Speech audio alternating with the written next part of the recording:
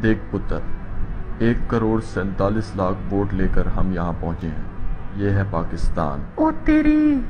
हमें फिर अवाम ने एक मौका दिया है कि पिछली बार हमने जितना लूटा था अब वहीं से कंटिन्यू करें और जो कुछ इस मुल्क में बचा है वो सब भी लूट कर ले जाएँ। ये सब कुछ हमारा है। हाँ पुत्र। मगर वो वो ऊपर कौन सी जगह है?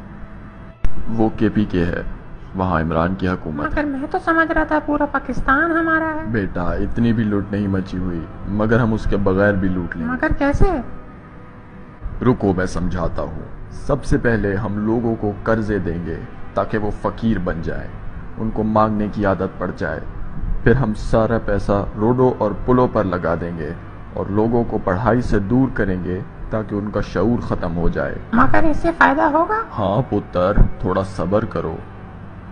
लोग बेशक हमें गालियाँ दे मगर वो हमारा कुछ नहीं बिगाड़ सकते।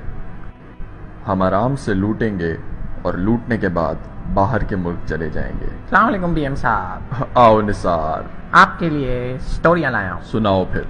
रमज़ान शुरू होते ही हर जगह महँगाई फैल गई है।